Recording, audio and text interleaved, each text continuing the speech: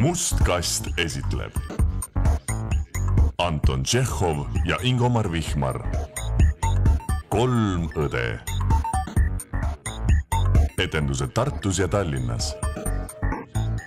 www.teatermustkast.ee